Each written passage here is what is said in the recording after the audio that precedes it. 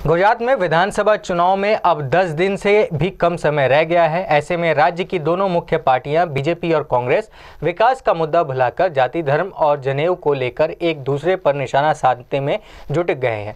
एक तरफ़ बीजेपी कांग्रेस उपाध्यक्ष राहुल गांधी से उनका धर्म पूछ रही है तो दूसरी तरफ़ कांग्रेस पूछ रही है कि अमित शाह बताएँ कि क्या वो हिंदू है।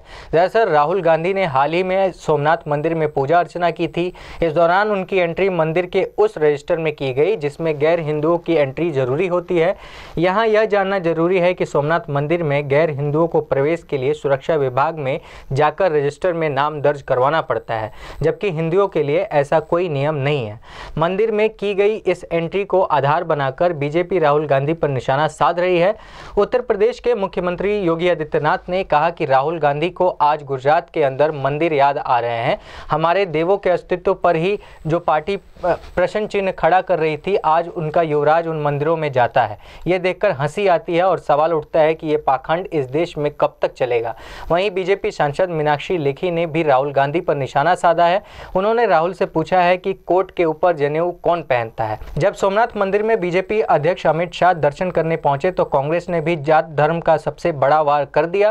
कांग्रेस के वरिष्ठ नेता राज बब्बर ने कहा कि अमित शाह खुद को हिंदू बताते हैं, जबकि वे एक जैन है।